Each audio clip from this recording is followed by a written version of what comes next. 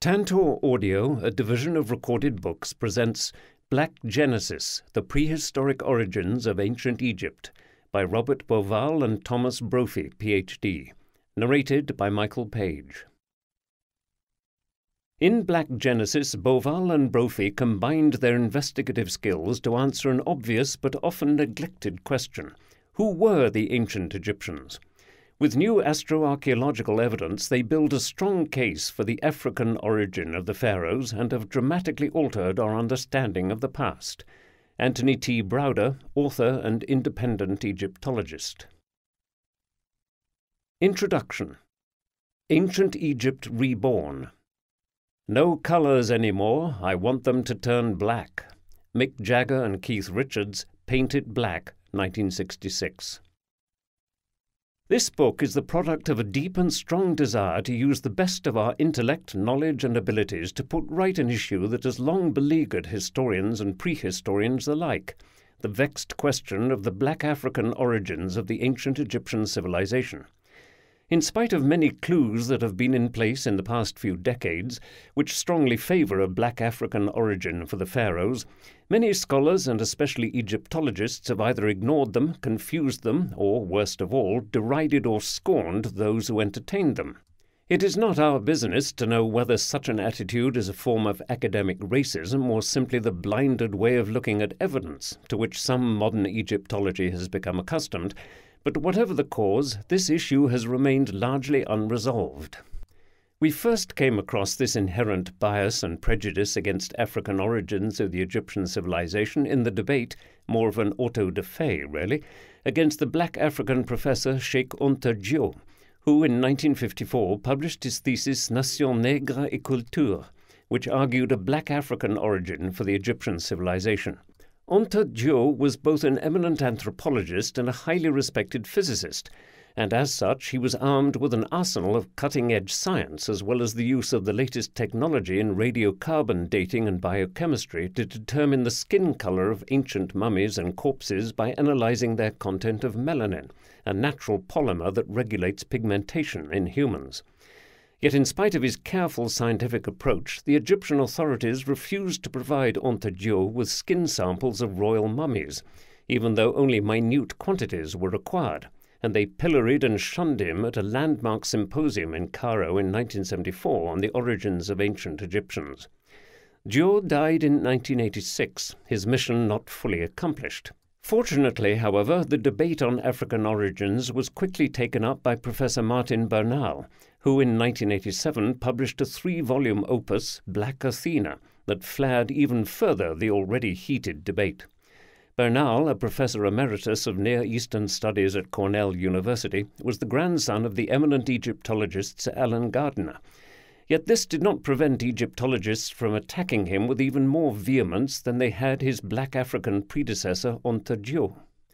Even though there is still much controversy surrounding the origins of the ancient Egyptian civilization, we can now say with much evidence driven conviction that its origins have their genesis with the black African people who inhabited the Sahara thousands of years before the rise of the pharaonic civilization. In this book, we present hard scientific evidence and cogent arguments that have been culled from the latest findings and discoveries made in the Egyptian Sahara during the past four decades.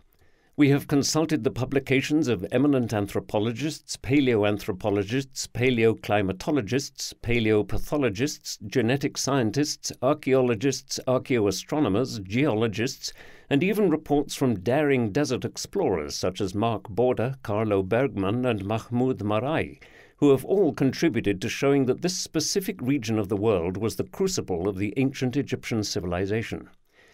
In researching this book, we have used the best and latest research accredited to experts and scholars. In addition, we have specifically used our own toolkit and method, which entails the application of the science of astronomy to interpret the alignments of complex megalithic structures, pyramids, and temples, as well as extracting the astronomical content in ancient Egyptian texts and tomb drawings. To phrase it another way, we have coaxed the silent ancient stones to reveal their secrets with the universal language of the sky. Black Genesis is an intellectual time machine that takes you on a roller coaster adventure into the beyond of recorded history.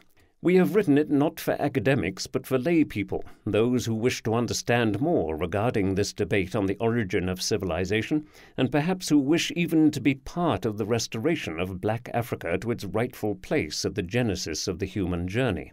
Although in this book specialized topics such as anthropology and precession astronomy are reviewed, we have kept the discussion as easy and as entertaining as possible in order to achieve a text that is user friendly and well within the grasp of anyone who has a thirst for knowledge and a sense of adventure. Our wish is to interest a wider audience in this fascinating research and, we hope, to encourage participation in the debate. With internet communication and the instantaneous distribution of data and information, as well as the now easy to use astronomy software accessible to all those with a home computer, the participation of the wider public in such debates has become a real and viable possibility, and indeed has quite often helped, coerced may be a better word, experts to remove their blinders and look at the wider picture. There is still much work to do in bringing to the world a new vision of the black African origins of civilization. Yet if we buttress the theory with solid current research and exploration, and if we look at the evidence with open minds, free of prejudice and bias, progress of this notion of origins is gaining momentum. For many centuries, the black race of the world has either been exploited by its white counterpart or looked upon as inferior although many in the Western world have advanced a great deal in curbing such an attitude, the truth is that racial prejudice is still very much rampant in other parts of the world, and it lingers in uneducated or dark hearts in Europe and the New World.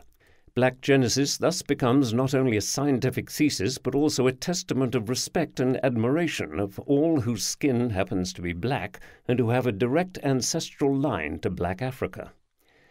Our research has taken us from Europe and the United States to Egypt, from the comfort of five star hotels in Cairo to camping in the remote Sahara, and from the studious environment of public libraries to chaotic journeys along the entire stretch of the Egyptian Nile Valley.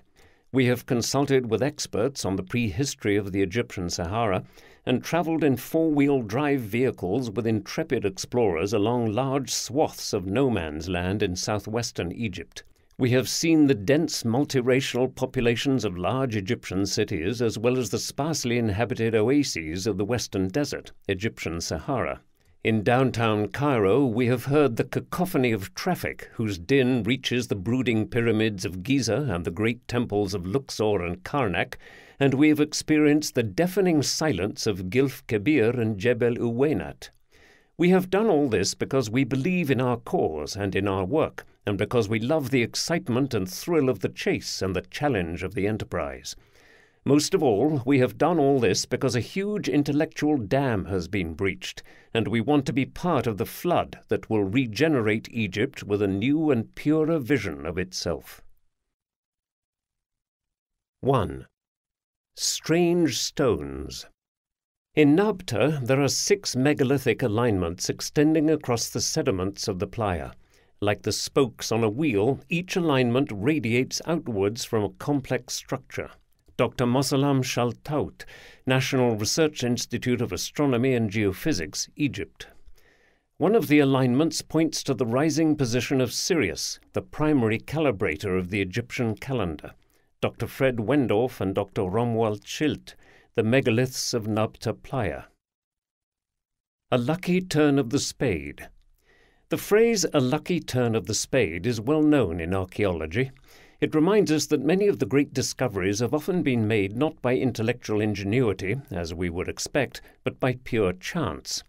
Moreover, it implies that the credit does not necessarily always go to the person who actually held the spade, but rather to his employer, the leader or financier of the archaeological project.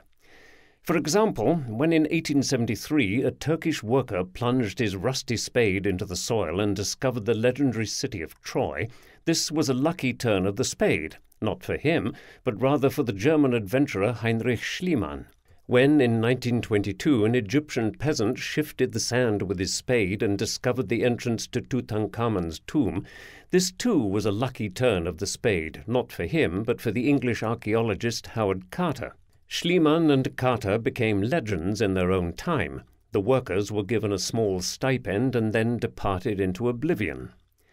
So when an unnamed student from Southern Methodist University of Texas, SMU, discovered Nabta Playa, his or her name was somehow lost and forgotten in the academic verbiage that followed. Admittedly, this time there was no lucky turn of the spade. In fact, there was no spade in the hand of the unnamed student. The leader of the expedition, Fred Wendorf, and the student, as well as a few others with them, had by chance stopped their jeep in order to have a comfort break, a pee, after a long and tiring drive in the Egyptian Sahara. They were 100 kilometers, about 62 miles, due west of Abu Simbel, in a nondescript empty desert spot. During their rest, as they looked down around their feet, they slowly realized they were standing in a field of numerous artifacts, the remnants of finely made stone tools and potsherds. Those artifacts alone were intriguing enough to prompt Fred Wendorf to investigate further and begin an entirely new excavation site. What the explorers did not then realize was that the strange clusters of large stones all around them, half buried in the sand, would eventually shock the world's concept of antiquity. At first, the members of the expedition assumed that these stones were just natural boulders sticking out of the ancient sediment, a common feature in this arid part of the world. In fact, for years, as they excavated in the midst of the boulders, searching for and finding the expected Neolithic artifacts, they assumed the large stones were natural bedrock outcrops. As they looked closer, however, it dawned on them that the stones were positioned in unnatural formations, strange geometrical clusters, ovals, circles, and straight lines, and they were sitting on the sediments of an ancient dry lake. Someone had taken the trouble to move these stones at great effort. Who had done this? When? More intriguingly, why? It would be no exaggeration to say from the outset of our story that Wendorf's findings and those of his team, which were published gradually from the mid 1970s until very recently, should have shaken to its very core the scholarly world and should have changed its perception of Egyptian history and even perhaps of civilization as a whole. This, however, didn't happen. Nabta Playa and its mysteries remained an undiffused intellectual bomb ticking away, remaining unexploded in the hallways of established knowledge. Until now. The Combined Prehistoric Expedition, CPE. Fred Wendorf's fascination with the Egyptian Sahara started way back in 1960, when, in a desperate bid to save Egypt's ravaged economy, the Egyptian government decided to build a huge dam on the Nile just south of Aswan, 900 kilometers, about 600 miles, from Cairo. Egypt's population had burgeoned from a comfortable 10 million at the turn of the 19th century to an unsustainable 50 million by 1960, and the country was now in dire need of cheap energy to service the ever growing masses and sprouting agricultural and industrial projects. There were also new infrastructure projects planned for the Delta region and all along the 1,000 kilometer, about 621 miles, Nile Valley, roads, pipelines, sewage plants, airports, hospitals, and schools, which President Gamal Abdel Nasser had promised the people after the so called Free Officers' Revolution of 1952. Unable to obtain funds for all this from the Western powers because of ongoing anti Semitism in Egypt and the country's hostilities with Israel, Nasser was forced to seek help from Communist Russia, which was eager to introduce socialism to Egypt and to gain a foothold in the Arab world. For infrastructure projects, Egypt provided cheap labor for its huge unemployed masses, while Russia provided the cash and the technology, and even threw a few MiG jet fighters and tanks into the deal. When finished, the dam on the Nile was to form a giant lake, Lake Nasser, which not only would flood much of the inhabited Nile Valley upstream, but also would submerge many ancient temples, among them the great temple of Ramses II at Abu Simbel and the beautiful temple of Isis on the island of Philae. The archaeological world communities were outraged.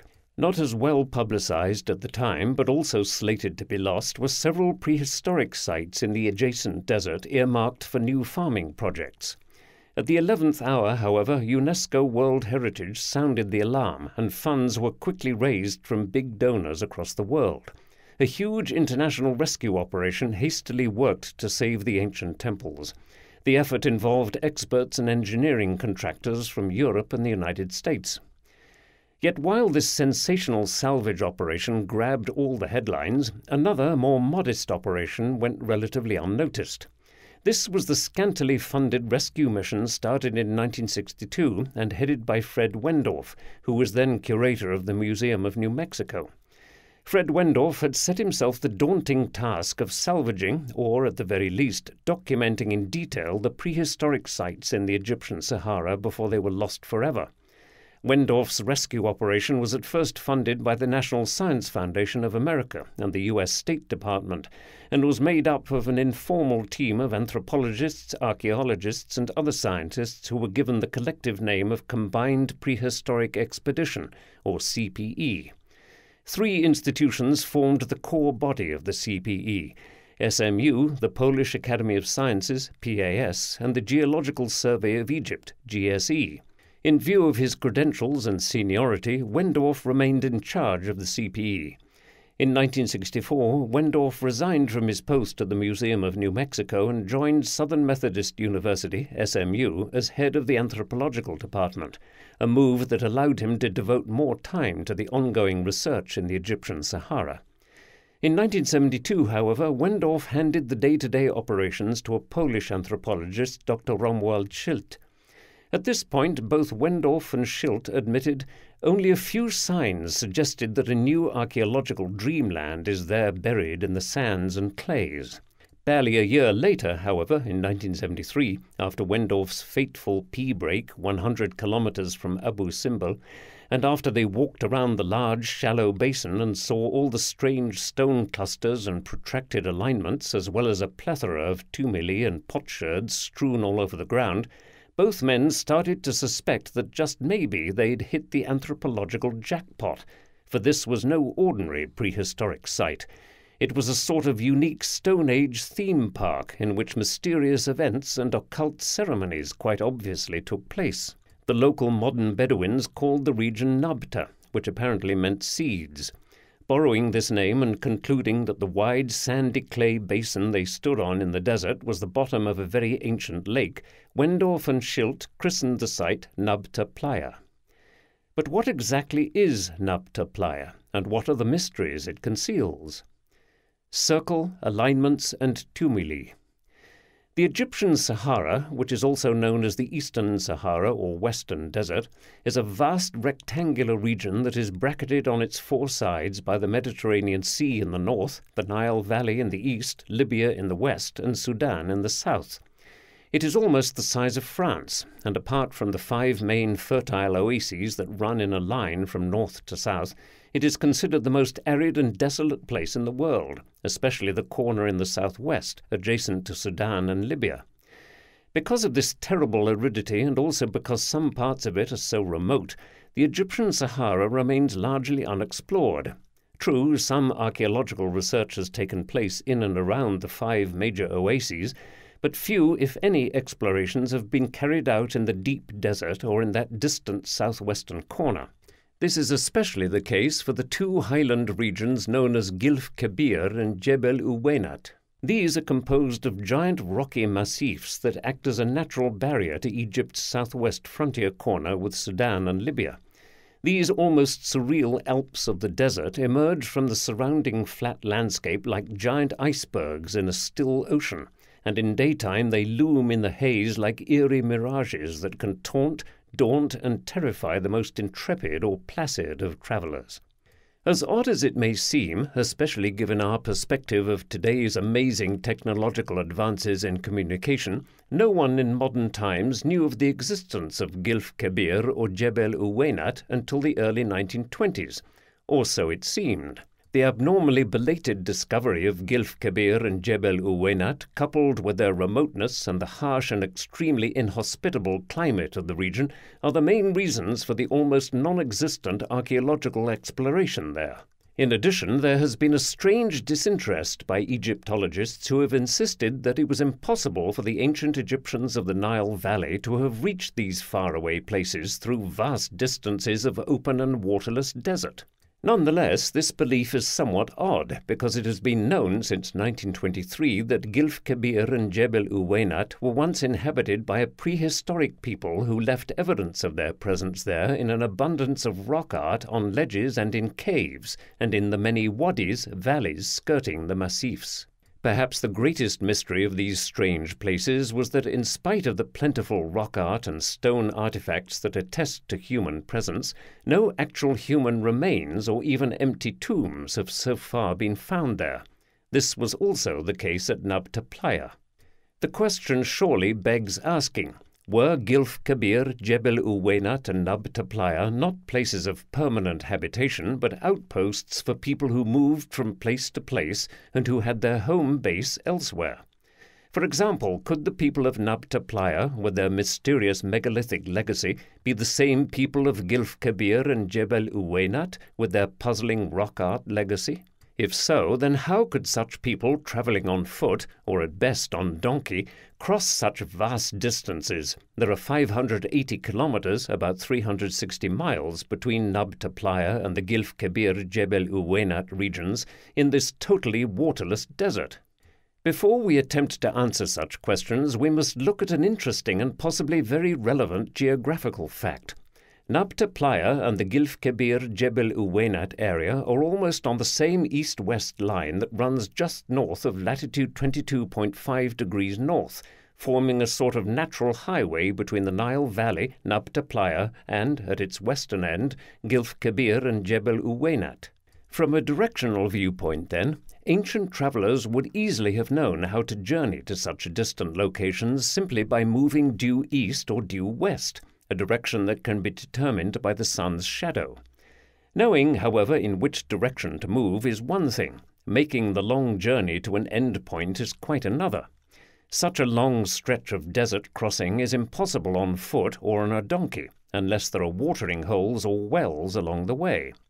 Yet there are no wells or surface water in this stretch of desert between Nabta Playa and Gilf Kebir, only bone dry sand, dust, and rocks. Nothing can survive in this wasteland without adequate sources of water.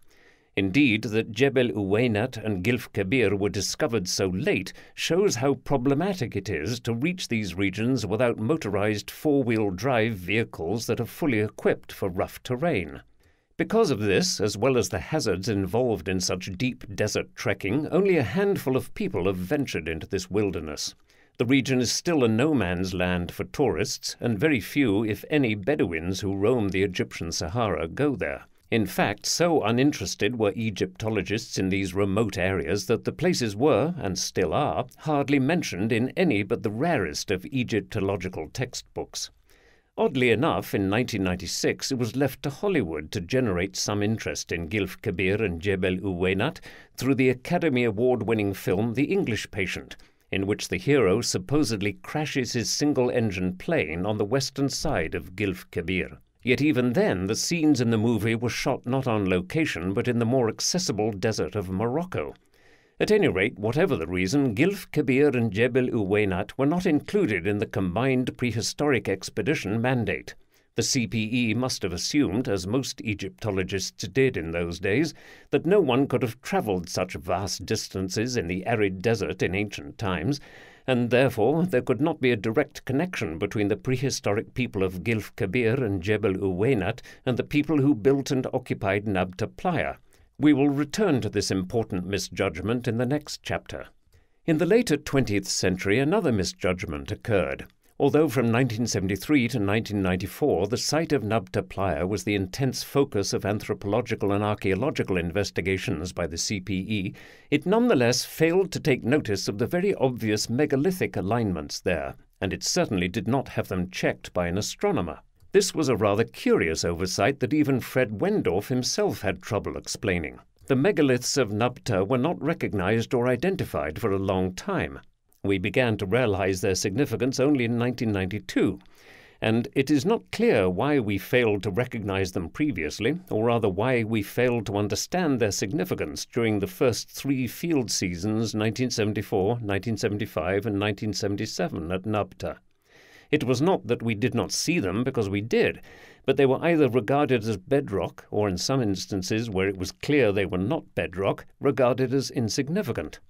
As the author John Anthony West once remarked, archaeologists can have blinded views and miss the obvious.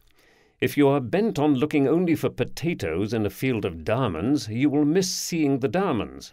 To be fair to the CPE, though, the anthropological and archaeological evidence so far was in itself exciting stuff. Carbon 14 dating resulted in dates as far back as 7000 BCE and as recent as 3400 BCE, showing an on and off presence at Nabta Playa over an incredible span of years, more than three and a half millennia. The evidence at Nabta Playa also showed that at first people came seasonally when the lake was filled by the monsoon summer rains, arriving probably in July and staying until January, when the lake dried up again. Eventually, sometime around 6500 BCE, they figured out how to stay at Nabta Playa permanently by digging deep wells. Around 3300 BCE, however, the changes in climate made the region extremely arid, and Nabta Playa had to be abandoned. The mysterious people simply vanished, leaving behind their ceremonial complex that the CPE had discovered more than five millennia later. Its members were now at odds to understand the function and meaning of the complex. First, the CPE was baffled by the dozen or so oval shaped tumuli on the north side of Nabta Playa. These looked like flattened igloos made of rock debris and covered with flat slabs of stones. More baffling still was when one of these tumuli was excavated by the CPE. It was found to contain the complete skeletal remains of a young cow, and other tumuli also contained scattered bones of cattle. Wendorf christened the area the Wadi of Sacrifices and concluded that these cattle burials and offerings appear to indicate the presence of a cattle cult. Radiocarbon dating placed these cow burials at around 5500 BCE, thus at least 2000 years before the emergence of the well known cattle cults of ancient Egypt, such as those of the cow faced goddess Hathor, the universally known goddess Isis, and the sky goddess Nut. There were also strange clusters of large stones at the western part of Nabta Playa, about 30 of them, which the CPE called complex structures. When some of these were excavated, the CPE found, to its great astonishment, that these structures had been deliberately placed over natural rock outcrops that were 3 to 5 meters, about 10 to 16 feet, below the surface of the earth. Furthermore, it seemed that these strange rock outcrops had actually been smoothed to mushroom like shapes by human hands. The largest of these so called complex structures was named Complex Structure A, CSA. When excavated, it was found to contain, at a depth of three meters, a large rough stone sculpture carved to look something like a cow and placed above the sculpted rock outcrop.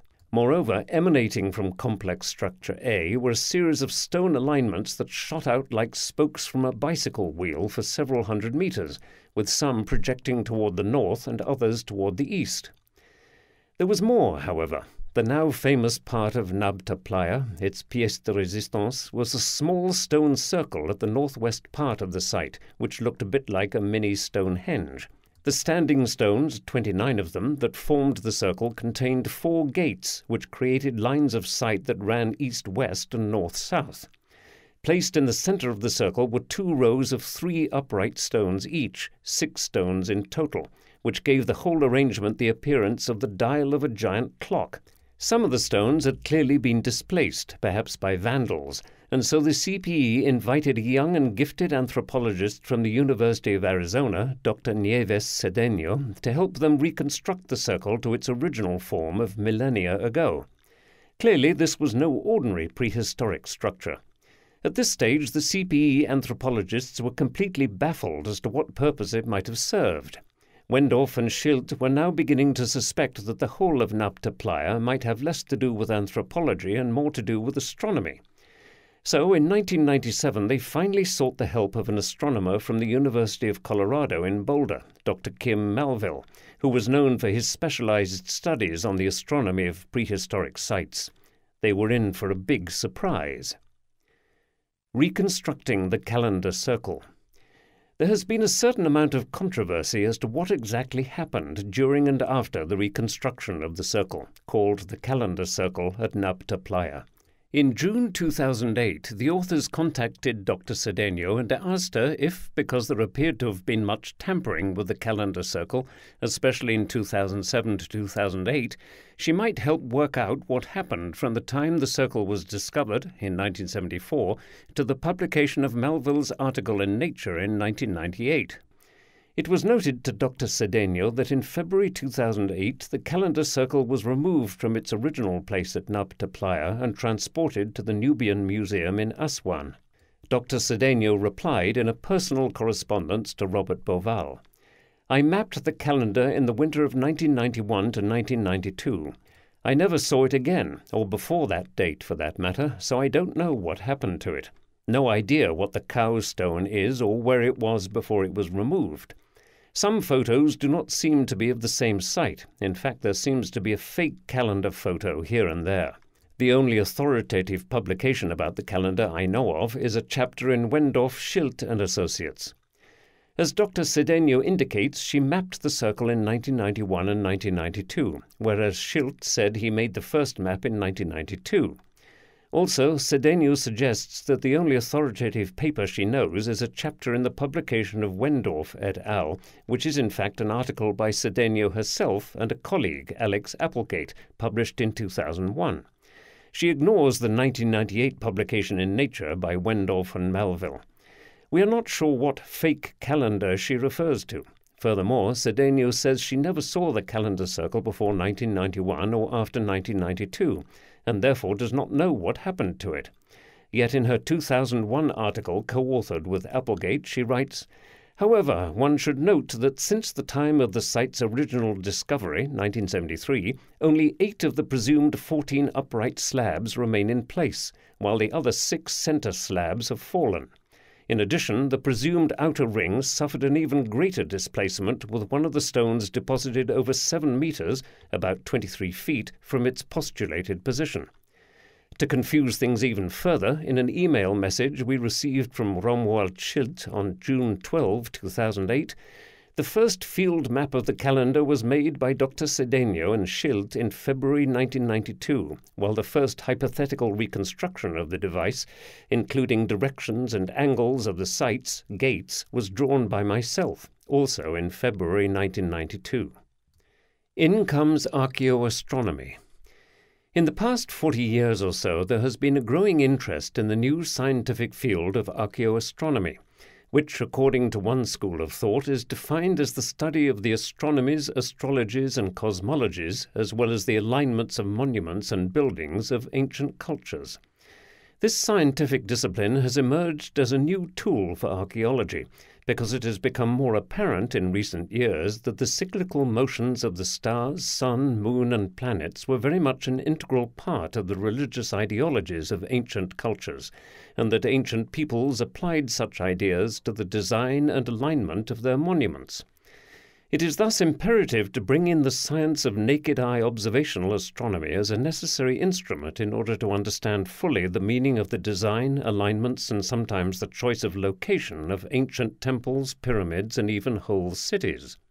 For example, according to E. C. Krupp, the cosmos itself is what mattered to our ancestors. Their lives, their beliefs, their destinies, all were part of this bigger pageant. Just as the environment of their temples was made sacred by metaphors of cosmic order, entire cities and great ritual centers were also astronomically aligned and organized. Each sacred capital restated the theme of cosmic order in terms of its builder's own perception of the universe. Principles which the society considered its own, which ordered its life and gave it its character, were borrowed from the sky and built into the plans of the cities. A sort of stillborn precursor of modern archaeoastronomy can be found in the turbulent intellectual milieu that swirled through the French intelligentsia at the turn of the 19th century after Napoleon, in 1799, took a cadre of top scientists and scholars along with his army on their adventurous military campaigns through Egypt. Napoleon also took along artists to record the journeys in sketches. One such artist, Vivant Denon, was fascinated by a zodiac sculptured onto the ceiling of a temple at Dendera. In Paris, Denon published as a book his sketch of the Dendera zodiac along with an account of his travels, and it became a huge bestseller in both France and England. In the important scientific and scholarly societies of Paris, there arose a protracted and very active debate focusing on attempts to date the Dendera zodiac. One camp was composed of scientific luminaries of the time, many of whose names are familiar to any student of science today. These scientists often gathered at the home of the Marquis de Laplace. Particularly active in the Dendera zodiac debate were physicists Jean Baptiste Biot and Joseph Fourier, astronomer Johann Karl Burckhardt, and his engineer partner Jean Baptiste Correbœuf. The approach that all in this camp followed in order to attempt to date the zodiac was to match calculations of the astronomical precession of the equinoxes with the images of constellations on the Dendera zodiac. They followed the reasoning of pre French revolutionary scholar Charles Dupuis, who had based his study of the origins of religion on interpreting religious mythologies in astronomical terms. As California Institute of Technology historian of science Jed Z. Buchwald puts it, Dupuis had located the birthplace of the zodiac in an Egypt older by far than any chronology based on textual arguments, and especially on the books of Moses, could possibly allow. Standard biblical chronology placed the origin of all things at about 4000 BC. According to Dupuis, the zodiac and astronomy itself was born near the Nile over 14,000 years ago. The Greeks, he insisted, were scientific children compared to the Egyptians, whose knowledge and wisdom underlay all of Western science and mathematics. The scientists competed fiercely, often disagreeing with each other. For example, Biot seems to have enjoyed pointing out that Fourier, famous for his mathematics, had miscalculated the heliacal rising of Sirius. Yet they all used precession calculations to date the Dendera zodiac. One thing that hampered them, and that is still uncertain today, was that it is not clear how much of the Dendera zodiac is representative of actual events in the sky and how much of it is merely symbolic horoscope. This gets at the heart of the other camp in the zodiac dating debates of the time the philologists and linguists who argue that astrophysical calculations should not be applied, because all ancient symbology is best understood as an expression of the cultural lives of the ancients, not as a representation of the physical world. Stirring even more the turbulence of the debate was that many French intellectuals, such as Dupuis, had little use for biblical fundamentalism, while others believed all scholarship should be firmly based on interpreting biblical mosaic, emphasizing the books of Moses, chronology. One of these was the young Jean Francois Champollion. Meanwhile, a French antiquities collector named Saulnier had dispatched a master stonemason named Le Lorrain on an expedition to Dendera to steal the zodiac.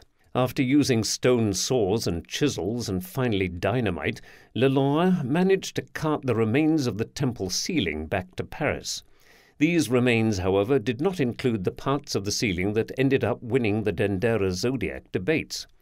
In September 1822, Champollion, after years of poverty stricken, excruciating efforts, finally cracked the code for how to decipher hieroglyphs. Champollion first deciphered the cartouches that contained royal names. A cartouche is an oval enclosure in which the name of a pharaoh is inscribed. Only a king's name can be written within a cartouche. Among the first cartouches he deciphered were those next to the Dendera zodiac. There he read the ancient Greek word for ruler, thus dating the construction of the zodiac ceiling to the Ptolemaic period and winning the debate for the side of the philologists, who could happily boot the physicists and astronomers out of the circle of those considered able to offer legitimate authority about antiquity.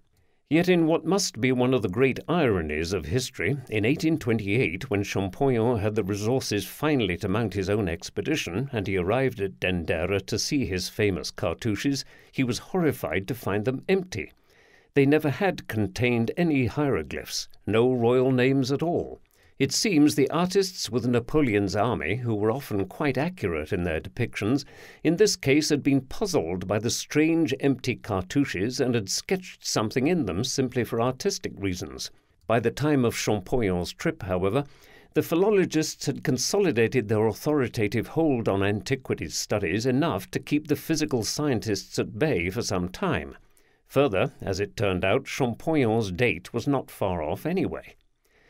Eventually, we would have a new mode of historical understanding stemming from neither the extreme philologist linguist camp nor the extreme physicist astronomer camp, but a synthetic approach including many forms of evidence archaeological, artistic, linguistic, and astronomical that would come into play. Because he began to employ such a synthetic approach, the father of archaeoastronomy may legitimately be the British astronomer Sir Norman Lockyer.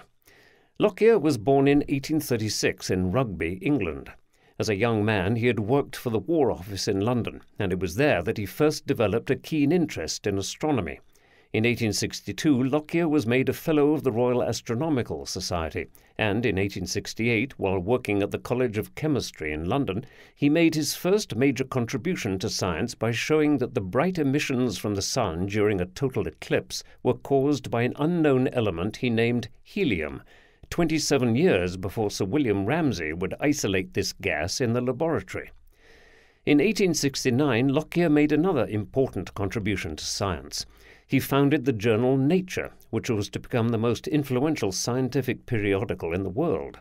Further, in 1885, Lockyer became the world's first professor of astronomical physics. For his many discoveries and achievements, Lockyer was knighted in 1897. At the age of 53, toward the end of his academic career, Lockyer indulged in his greatest passion, the study of the astronomies of ancient cultures and the alignments of their temples he realized that archaeologists had not paid any heed to the possible astronomical ideas of the temple builders, and furthermore, that there was little doubt that astronomical consideration had a great deal to do with the direction towards which these temples faced. He had read of the magnificent pyramids and temples of ancient Egypt, and so, in November 1890, Lockyer went there to see them for himself. In Cairo, he was assisted by the German Egyptologist Heinrich Brugsch, an authority on astronomical inscriptions and drawings found in temples and tombs of pharaohs and noblemen. During a meeting with Lockyer, Brugsch explained that the rituals and ceremonies of ancient Egyptians clearly contained astronomical connotations. Encouraged by this, Lockyer sailed to Luxor. There he studied the alignment and symbolism of several temples, including the great temple of Amun Ra at Karnak. Back in England, Lockyer published his findings in The Dawn of Astronomy. It was the first book of its kind, and taking into account the incomplete and rudimentary knowledge of Egyptologists at that time, Lockyer's work is a remarkable achievement that brought to attention the importance of applying astronomy to the studies of ancient cultures. Yet even though Lockyer's approach was highly scientific and his arguments sound, nearly all Egyptologists either ignored or rudely derided his thesis. Like Galileo before him, who calmly told his inquisitors, But it, earth, does move, eppur si muove, poor Lockyer told the Egyptologists, Of all the large temples I examined, there was an astronomical basis. His words fell on deaf ears. In the years that followed, the Egyptologists took refuge in their belief that by having silenced Lockyer and having thrown him off their turf, they had shaken off all those pseudo scientists, dilettantes, and hangers on who dared to oppose their views. For a while, it did seem that they had succeeded. In 1963, however, another archaeoastronomer came to haunt them again with a vengeance the American professor Gerald Hawkins of the Harvard Smithsonian Observatories in Cambridge, Massachusetts. Hawkins infuriated archaeologists by publishing in Lockyer's now highly influential academic journal Nature a series of articles on the vexed topic of the alleged astronomy of Stonehenge, and he followed the articles with the publication of his now renowned book Stonehenge Decoded. Hawkins went much further than Lockyer. He claimed that the alignments at Stonehenge were definitely astronomical and had been deliberately aimed at the sun and moon azimuths, positions at rising and setting. He also asserted that the 56 holes of the so called Aubrey Circle were representative of the 56 years of the moon's full eclipse cycle of three nodal revolutions of 18.61 years each. The implications were huge This interpretation meant that the ancient builders of Stonehenge, far from being primitives and illiterate barbarians, were sophisticated astronomers who also knew that Earth was a sphere or globe. This, of course, was pure anathema to the archaeologists, and soon they were again up in arms. As our colleague and friend John Anthony West once remarked, there are few things in this world more predictable than the reaction of conventional minds to unconventional ideas. That reaction is always and invariably some combination of contempt, outrage, abuse, and derision. However, this standard reaction may be seriously muted or further enhanced by a potent new wild card, added to the deck only in the latter half of the 20th century the PR factor. If the unconventional idea attracts wide public interest, that is to say, if it is easily understood and is sexy enough, especially if it results in best selling books, extensive TV coverage, or movie blockbusters, the attack gets ratcheted up. As long as the public interest is there, Hollywood and television can be relied upon to keep stirring the pot no matter what the experts say. And sooner or later, the cynics, skeptics, and debunkers at the New York Times, Scientific American, and Skeptical Inquirer will be forced to confront the offending idea. This time, however, they faced a less accommodating opponent than the passive Sir Hawkins's book became a bestseller, and with his solid academic reputation, the archaeologists had much trouble quenching the huge interest and support Hawkins received from the public and media. Hawkins had single handedly forced the scholars out of their ivory towers and made them face up to the challenge.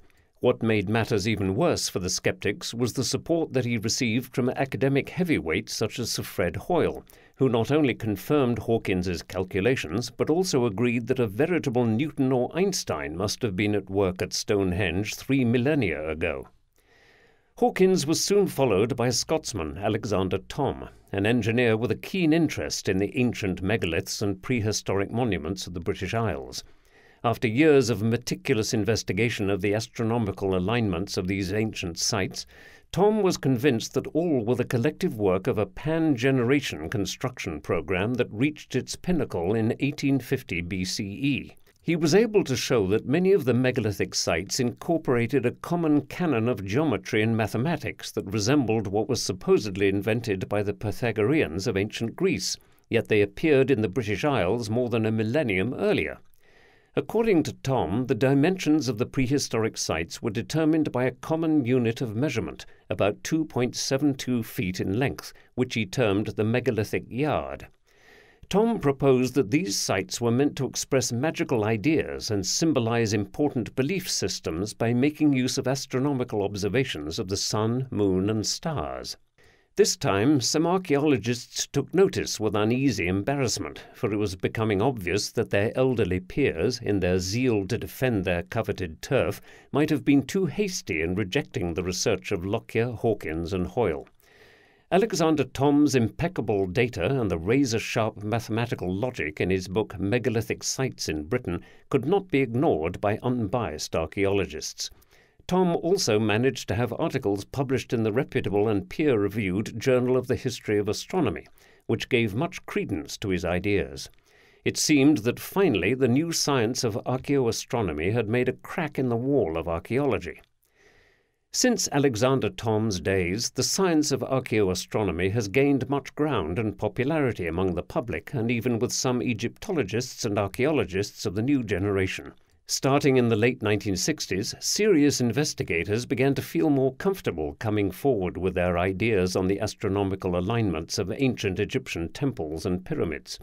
The first major breakthrough came with the astronomer Virginia Trimble, who co discovered the stellar alignments of the shafts in the King's Chamber of the Great Pyramid in 1963. This discovery opened the way for more research on the Egyptian pyramids and also encouraged others to come forth and brave the firewall of academic Egyptology. Today, many new players have entered this fascinating field of research, mostly because computer and satellite technologies such as Google Earth, GPS, and user friendly astronomy software have allowed amateurs to investigate ancient sites on a screen in the comfort of their office or home. Further, with the arrival of the Internet, coupled with the exponential growth of computer and digital technology and electronic communication with easy access to downloading scientific publications, research on ancient cultures is no longer the monopoly of closed door archaeological institutions or university and museum departments. Even so, Egyptologists and archaeologists still pull rank when new ideas threaten to topple their coveted apple cart. We speak from our own experience when we published the Orion Mystery in 1994 and later in 2002 the Origin Map. We too endured from Egyptologists and archaeologists the all too familiar war of words and the debunking that is passed off as criticism. There are, nonetheless, signs of a growing acceptance that connections do exist between astronomy and the orientation, alignments, and location of ancient sites. In 1981, the first international conference on archaeoastronomy was held at Oxford in England, where astronomical alignments of temples were discussed openly and seriously. Then, in 1983, there took place the first international conference on ethnoastronomy at the Smithsonian Museum in Washington, D.C. In 1993, the world's attention was galvanized by the German engineer Rudolf Gantenbrink and his daring exploration with a miniature robot of the star shafts in the Queen's Chamber of the Great Pyramid of Giza and his stunning discovery of doors at their ends. Finally, in 2002, National Geographic staged a live television event in an attempt to open the Gantenbrink doors in the Great Pyramid. An estimated 600 million viewers around the world saw the program. Thanks to the persistence of a new breed of archaeoastronomers such as Archie Roy of Glasgow University, Giulio Magli of Milano Politecnico, Edwin Krupp of the Griffith Observatory in Los Angeles, Anthony Aveni of Colgate University, Alex Gurshtein of the International Astronomical Union, and Juan Belmonte of the Tenerife Observatory, to name but a few, archaeoastronomy has now become an important aspect in the understanding of ancient cultures. Today, a few major universities around the world have added new chairs for archaeoastronomy, and more scholarly papers, articles, and books are being published by professional archaeoastronomers and serious amateurs alike. All this has caused a large crack in the wall of Egyptology, and archaeoastronomy has slipped in to stand beside conventional archaeology as a major tool to study the pyramids, temples, texts, and tomb drawings of the pharaohs. So, when Kim Malville, a professor emeritus of astrophysics and planetary sciences at the University of Colorado, arrived at Nabta Playa in late 1997, he was greeted not by the usual tongue in cheek reception which might previously have been expected from Egyptologists and archaeologists, but with a genuinely collegial reception and a great hope that he could help solve the mystery of the stone alignments there. At this point, everyone working at Nabta Playa must have felt that under their feet was a potential intellectual and political time bomb, not only because of its great antiquity, but also because of what Malville was there to confirm. Before we go into this, however, we must understand better why the CPE made the mistake of leaving out of their research and investigation the regions of Gilf Kebir and Jebel Uweinat, for even with the problem of their great distance from Nabta Playa, it should have been obvious that they were in some way related to the ancient people who developed Nabta Playa. Let us review then where and when this intriguing story of the Egyptian Sahara really began. Surprisingly, it was not in Egypt, but in the dimly lit corridors of Balliol College, Oxford, England. 2.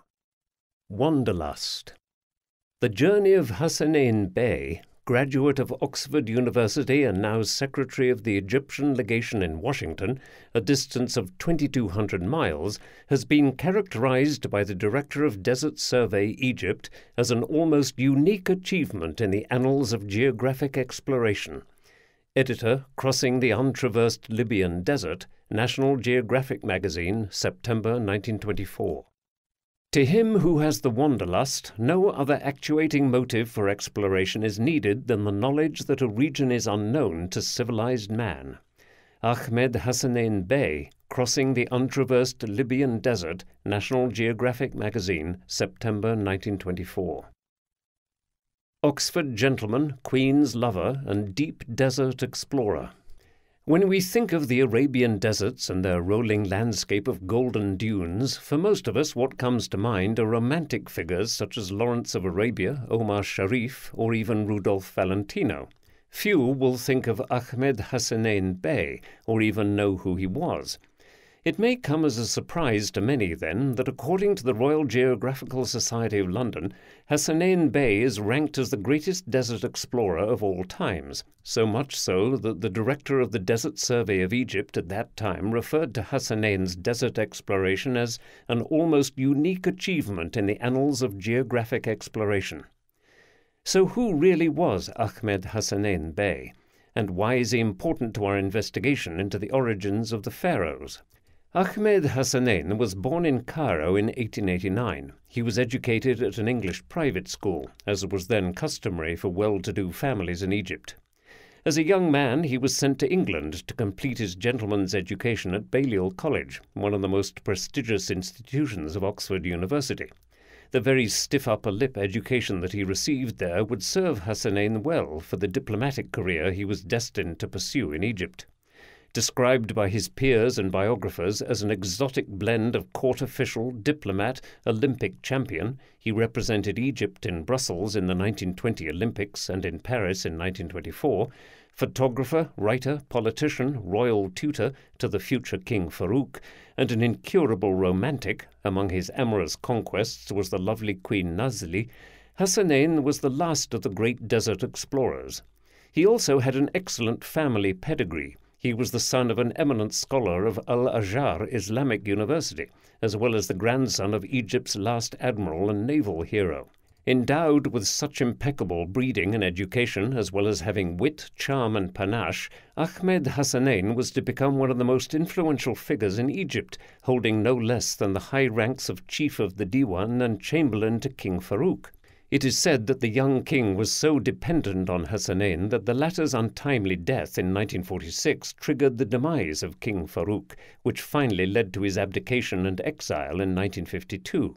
Tall, slender, romantic, charming, polite, and dashingly handsome, Hassanein's true passion, however, was not politics or glamorous women, but the open desert, or, to be more specific, the great Egyptian Sahara. This passion would eventually drive him to undertake the most daring of desert expeditions and to discover one of the most mysterious places on earth. He was always deeply loyal to the King of Egypt and a fervent believer in Egypt's sovereignty and independence. Thus, it is ironic that it was Hassanein's British education that would open doors for him and earn him a place of honour among famous explorers such as Burton, Stanley, and Livingstone. Oxford's Balliol College had, and still has, an illustrious reputation in moulding promising young men into world leaders. It has an old boys listing that reads like a who's who of famous men. It includes kings, national presidents, prime ministers, top authors, famous scientists, and Nobel laureates. Hassanein mingled comfortably in such elite company and was a sporting hero with the university's fencing team. During his stay at Oxford, he made friends with many future diplomats, in particular with Francis Rodd, the son of Sir Rennell Rodd, Britain's ambassador to Rome and its representative at the League of Nations. Francis would later become a Fellow of the Royal Geographical Society and serve as president from 1945 to 1948. This connection was to be extremely useful in bringing Hassanein's desert exploits to the attention of this prestigious society. Ironically, however, his friendship with Francis Rodd would also bring Hassanein into contact with a certain lady who was to cause him much public embarrassment. Hassanein returned to Egypt on the eve of World War I and was immediately recruited as private secretary to General Maxwell, British commander in chief of the Egyptian forces. When Maxwell left Egypt in 1916, Hassanein joined the Ministry of Interior where, according to British intelligence, he was instrumental in squelching an anti British riot in Upper Egypt during the so called Revolution of 1919. Meanwhile, Hassanein maintained his sporting interests. In 1920, he was captain of the Egyptian Olympic fencing team and won for them a bronze medal. It was during this time that King Fuad I appointed Hassanein personal tutor to the Crown Prince, the future and ill fated Farouk, who, it was said, practically worshipped him. The king's mother, the lovely Queen Nazli, fell deeply in love with Hassanein, and they eventually married secretly in later years. Hassanein's fascination with the Sahara began in 1916, when, along with his old Balliol friend Francis Rodd, he was sent on a very delicate mission by King Fuad to pacify the Senussi Bedouins of the Libyan desert. The Senussi were a confederation of Bedouin tribes in Libya who were deeply religious and had sided with the Ottoman Turks against the British in World War I. As such, they were a serious and nagging threat to Egypt's western borders with Libya. This threat had forced the Anglo Egyptian army to mobilize thousands of troops to protect the western frontier, troops that should have been put to much better use in fighting the Turks elsewhere. Against all odds, Hassanein managed to persuade the Senussi tribes to unite and adopt as their leader a pro British chieftain, Sayed Idris, the future King Senussi I of Libya. The Senussi stronghold was the oasis of Kufra, located nearly 800 kilometers, about 497 miles, inland from the Mediterranean coastline. In 1879, only a German explorer, Gerhard Rohlfs, had managed to reach it, but even he was not allowed to enter the oasis. He was chased away by the aggressive and fanatical Senussi. Hassanein made up his mind that he and Francis Rodd would be the first foreigners to enter Kufra. The inspiration for it, the journey to Kufra and beyond, dated from 1916 when I went on a mission to Sayed Idris el Senussi at Zuetina, a tiny port near Jadabia in Cyrenaica. One of the purposes of the mission was to effect an agreement with Sayed Idris as head of the Senussi and the most influential chief in Cyrenaica, which should prevent in the future Badawi Bedouin raids across the western frontier of Egypt. At Zuetina, I renewed acquaintance with Sayed Idris, whom I had already met through his friendship for my father when he was returning from a pilgrimage to Mecca in 1915. I told Sayed Idris of my ambition and desire to make the journey to Kufra, which had been visited only once by a stranger from across the desert's border, the intrepid German explorer Rohlfs in 1879. Sayed Idris was sympathetic with my desires and asked me to let him know when I was ready to make the expedition. He promised to give me all the help he could in my undertaking. Early in 1917, in continuation of the same mission to the Senussi, I met their head again at Akrama near Tobruk and told him that I was still determined to make the journey. I proposed to go as soon as the end of the war should set me free. Sayed Idris again encouraged my determination and renewed his promise of cooperation. There was with me then on the same mission Mr. Francis Rodd, an old Balliol friend. We discussed the proposed expedition together and agreed that we would be companions in it. At the close of the war, Mrs. McGrath, a friend of Francis, brought me a letter of introduction from Mr. Rodd. She wanted to join us on the journey. Mrs. McGrath turned out to be none other than the notorious writer and traveller Rosita Forbes. When she was introduced to Hassanein in Cairo in 1920, she had already been divorced three years and had since. We hope you enjoyed this preview. To continue listening to this audiobook on Google Play Books, use the link in the video description.